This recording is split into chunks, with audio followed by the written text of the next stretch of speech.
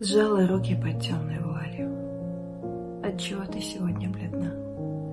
От того, что я терпкой печалью напоила его до пьяна. Как забуду, он вышел, шатаясь, скривился мучительно рот. Я сбежала, перил не касаясь.